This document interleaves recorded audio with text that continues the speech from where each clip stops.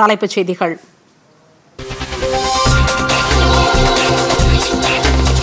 அத்தியாவசிய மருந்துகளை பதுக்கி வைப்போர் மற்றும் கள்ளச்சந்தையில் விற்பனை செய்வோருக்கு எதிராக கடும் நடவடிக்கை மாநில அரசுகளுக்கு பிரதமர் நரேந்திர மோடி அறிவுறுத்தல்.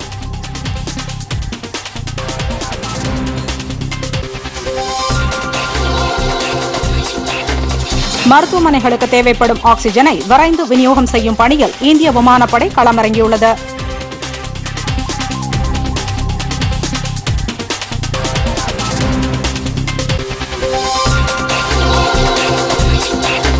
மிதமான கொரோனா தொற்று நோயாளிகளுக்கு சிகிச்சை அளிக்க ஜைடஸ் வெராஃபின் மருந்தை அவசர சிகிச்சைக்கு பயன்படுத்த மத்திய அரசு அனுமதி.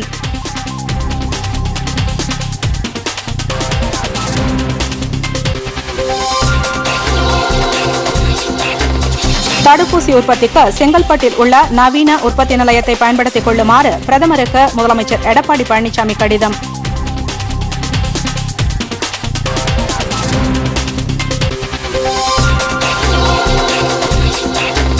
ஒலிம்பிக் நடைபெற மூன்று மாதங்கள் உள்ள நிலையில் புதிய வைரஸ் தொற்று அவசர நிலையை பிரகடனம் செய்துள்ளது ஜப்பான்.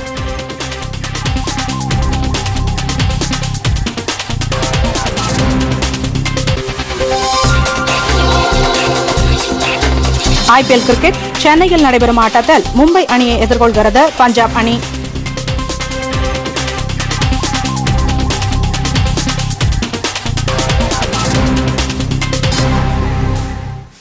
பொதிகை செய்திகளை யூடியூபில் தமிழ் நியூஸ் தூர்தர்ஷன் என்ற சேனலிலும் முகநூலில் டிடி பொதிகை நியூஸ் என்ற பக்கத்திலும் ட்விட்டரில் டிடி நியூஸ் சென்னை என்ற பக்கத்திலும் இன்ஸ்டாகிராமில் டிடி பொதிகை நியூஸ் என்ற பக்கத்திலும் காணலாம்.